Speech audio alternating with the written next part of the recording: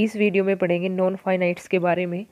इसके टाइप्स कितने होते हैं और सीखेंगे कि कहाँ कहाँ पर ये यूज़ किए जाते हैं। लेकिन सीखेंगे सिर्फ़ इतना जो अपने एग्ज़ाम में काम आए। ये टॉपिक बहुत वाइड है, लेकिन इतना डीप में हम नहीं जाएँगे। फ़र्स्ट है नॉन फाइनाइट्स के टाइप्स। थ्री टाइप्स होते हैं। फ़र्स्ट है इन्फिनेटिव, सेकंड है जेरेंट और तीसरा है पार्टिसिपल। इससे पहले स्टूडेंट्स एक वीडियो और आ चुके हैं नॉन फाइनाइट्स पे। अगर नहीं देखी है तो लिंक डिस्क्रिप्शन में मिल जाएगा, उसको भी ज़रूर देखना, क्योंकि मैंने उसमें बताया था कि नॉन फाइनाइट्स पे दो तरह से क्वेश्चंस पूछे जाते हैं। एक, इस वीडियो में लर्न करेंगे और दूसरा, पहले वाली में हम कर चुके। इसमें फिल इन द ब्लैंक्स हैं और उसमें पूरा सेंटेंस दिया जाएगा और उसमें आपको बताना कि नॉन फाइनाइट वर्ब्स कौन सी हैं, वो फाइंड आउट करनी है। तो उसको ज़रूर देखना। एक बात और बीए जो थर्ड सेम है, उसके लगभग जो ग्रामर के टॉपिक हैं, उन सभी पे वीडियो जा चुकी हैं। जैसे प्रेपोजिशन है क्लॉजेज हैं सेंटेंस के टाइप्स हैं और नॉन फाइनाइट से चल ही रहे हैं।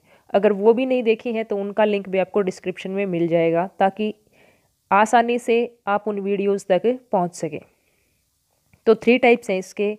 फ़र्स्ट है इन्फिनेटिव सेकेंड है जेरेंड और तीसरा पार्टिसिपल हमारे सिलेबस में सिर्फ़ दो ही टाइप्स हैं फ़र्स्ट इन्फिनेटिव और सेकेंड जेरेंड तो जो तीसरा पार्ट है, वो हम बिल्कुल भी नहीं पढ़ेंगे। हमें सिर्फ़ अपने कम की चीज़ चाहिए तो हम दो ही पढ़ेंगे। फ़र्स्ट जो इन्फिनेटिव है स्टूडेंट्स वो भी टू टाइप्स का होता है। ज़्यादा डरने की, घबराने की ज़रूरत है नहीं। बहुत आसान टॉपिक है और आसानी से समझाया गया है बिल्कुल। वीडियो को एक बार देखोगे तो ये आराम से समझ में आ जाएगा। इन्फिनेटिव दो टाइप का होता है। एक तो होता है वर्ब की बेस फॉर्म जिसको आमतौर पे फ़र्स्ट फॉर्म भी बोलते हैं। अकेली फ़र्स्ट फॉर्म। और जो दूसरा टाइप है, वो है क्या? टू प्लस वर्ब की बेस फॉर्म। इसको कई बार फ़र्स्ट फॉर्म भी बोल देते हैं और ये क्या है? टू प्लस वर्ब की फ़र्स्ट फॉर्म। लेकिन वैसे फ़र्स्ट नहीं बेस होती है form.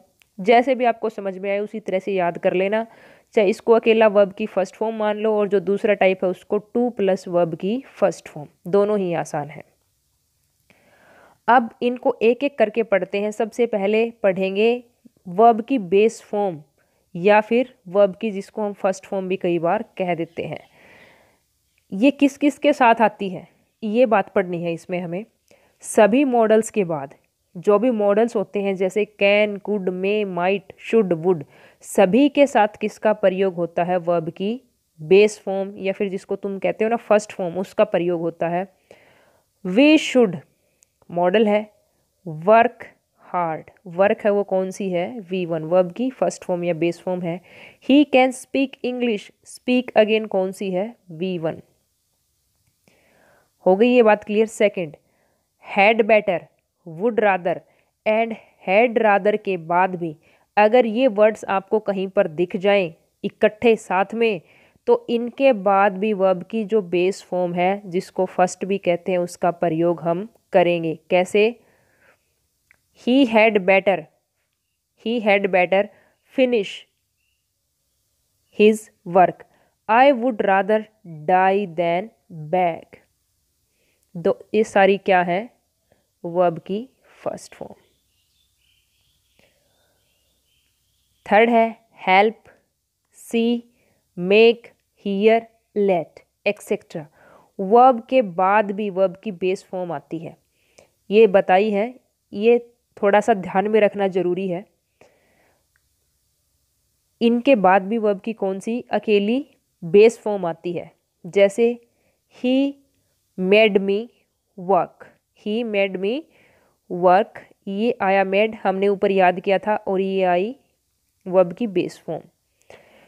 We heard her talk ये आया हीयर जो सेकंड फॉर्म है, और ये आई वर्ब की बेस फॉर्म हमने ऊपर पढ़ा था ना मेक आ जाए हीयर आ जाए हेल्प आ जाए शी सॉरी सी आ जाए लेट आ जाए help see make hear let अगर ये भी आती हैं तो इनके बाद भी वर्ब की जो बेस फॉर्म है, उसका प्रयोग किया जाता है, और ये फिर हमने पढ़े example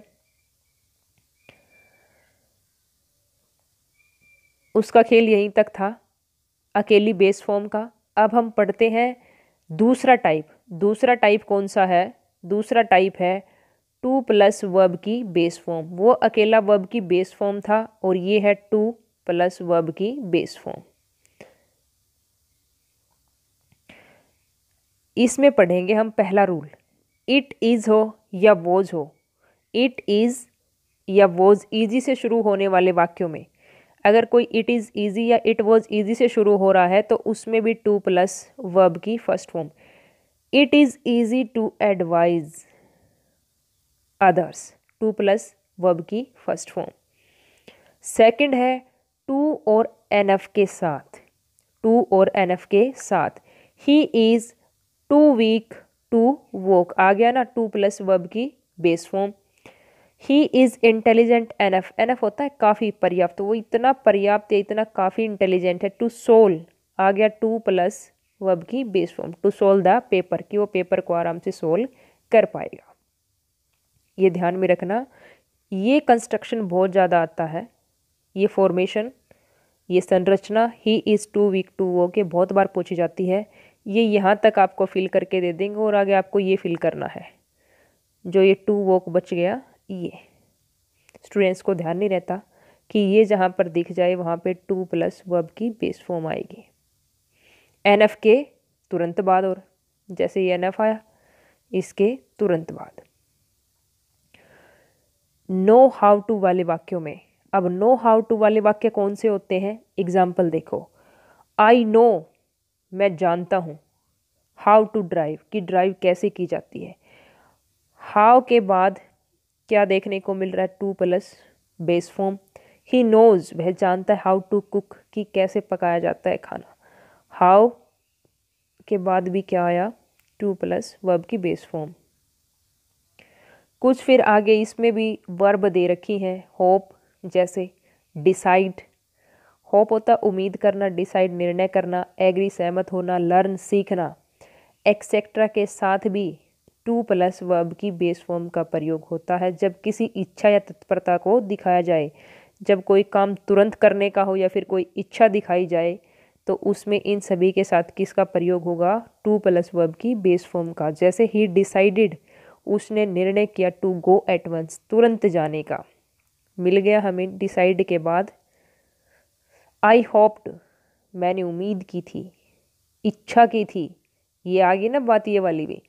To pass the exam exam को पास करने की।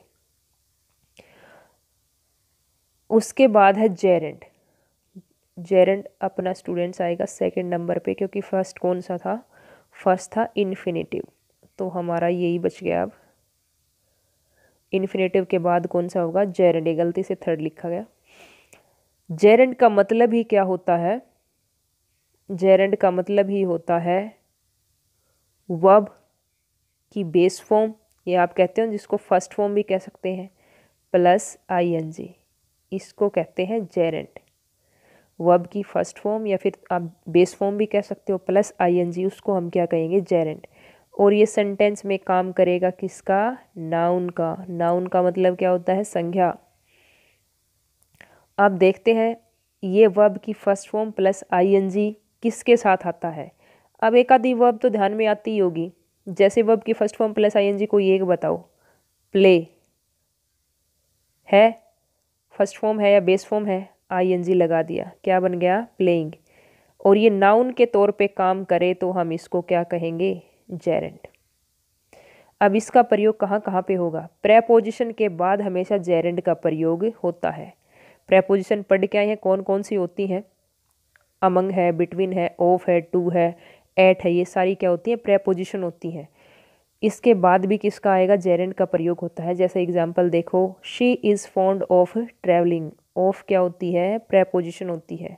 और ये लगाया हमने जेरेंट ट्रैवल और प्लस में I N G possessive case के साथ पजेसिव केस मुझे नहीं पता। आना तो आपको चाहिए, क्योंकि आप बी ए सेकेंड ईयर में हो। नहीं आता तो भी समझ लो।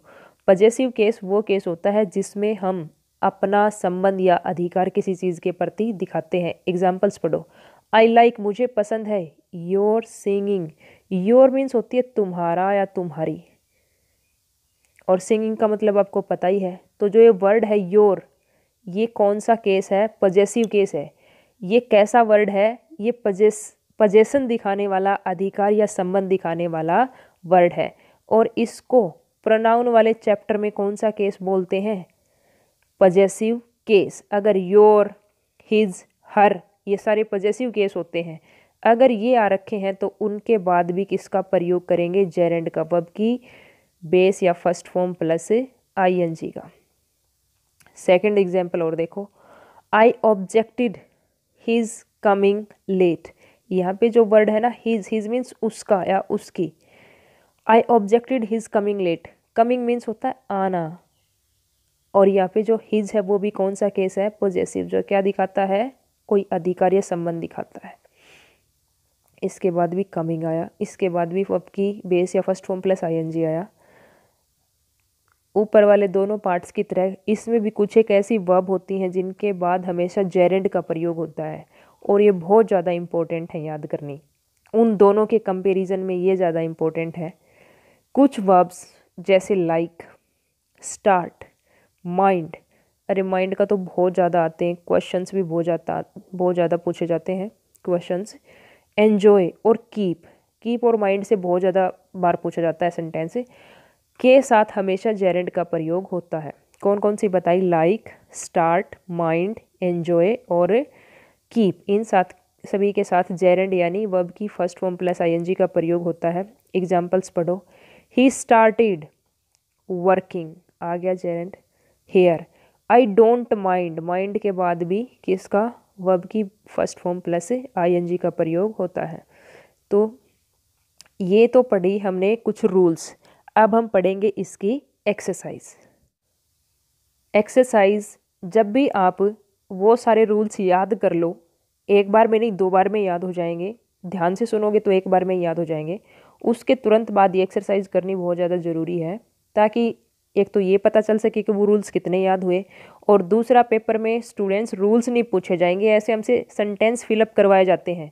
तो इस वजह से उनकी प्रैक्टिस करनी बहुत ज़्यादा ज़रूरी है।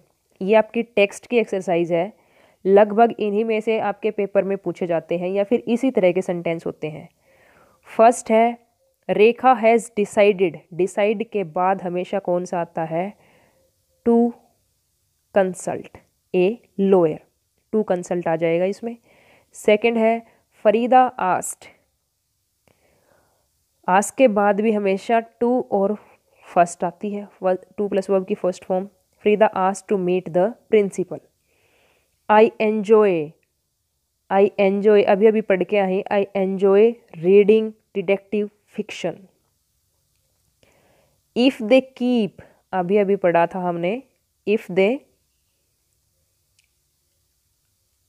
sorry students, if they keep diligently, they will meet their deadline. Keep का मतलब होता है रखना। If they keep कीप हो गया एन्जॉय हो गया माइंड हो गया, इनके साथ हमेशा कौन सी आती है? वर्ब की फ़र्स्ट फॉर्म प्लस आईएनजी तो इसमें वर्किंग आ जाएगा। If they keep working diligently they will meet their deadline next है डू यू माइंड अभी पढ़ के आए हैं ये भी। माइंड के बाद भी क्या आएगा?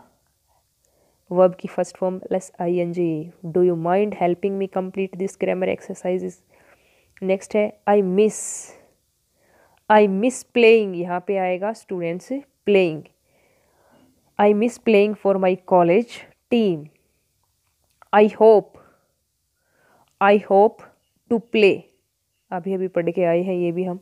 I hope to play for the team next year ये हमारी इच्छा को दर्शाता है कि हमारी इच्छा है कि नेक्स्ट ईयर अगले साल मैं अपनी टीम के लिए खेलूं। स्टीफन हेट्स स्टीफन नफ़रत करता है बोलने में। स्पीकिंग ये उसकी जनरल बात बताई गई है। Hate speaking in front of an audience वो श्रोताओं के सामने बोलने से नफ़रत करता है। यहाँ पे स्पीकिंग आएगा, ये ध्यान रखना। तो ये सिर्फ़ आठ ही सेंटेंसेस थे। इनको लर्न करना, चाहे समझ में ना आए तो भी याद कर लेना, ज़्यादा दिन की बात नहीं। ये अच्छे मार्क्स दिला के जाएँगे आपको। आज कंप्लीट हो गया आपके नॉन फाइनाइट का टॉपिक भी। काफ़ी दिनों से नॉन फाइनाइट नॉन फाइनाइट चिल्ला रहे थे तुम। मैंने अपना काम पूरा कर दिया। अब तुम्हारा काम शुरू होता है। अच्छे से लर्न करना, पढ़ाई करना और अच्छे से अपने एग्ज़ाम देना। कोई एक आधा टॉपिक रह गया होगा तो जैसे ही टाइम मिलेगा आपकी और वीडियोज़ अपलोड हो जाएगी। कमेंट सेक्शन में कमेंट करके बता देना। नए हो तो इस चैनल को सब्सक्राइब कर लेना ताकि और वीडियो जाएँ वो भी आप तक पहुँच सके।